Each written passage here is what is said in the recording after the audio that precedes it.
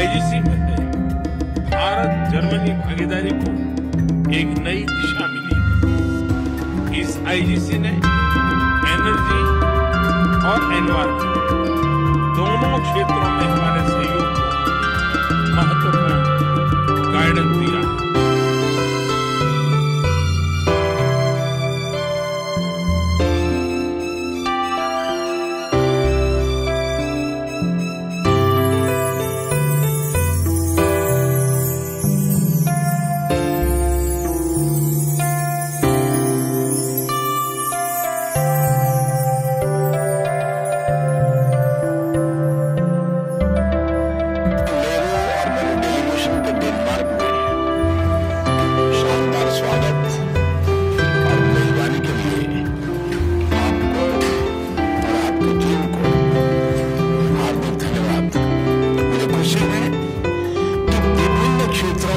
विशेष रूप से renewable energy स्वास्थ्य पोर्ट्स शिपिंग सर्कुलर इकोनॉमी तथा वाटर वाटर मैनेजमेंट के क्षेत्र में महत्वपूर्ण प्रगति हुई। है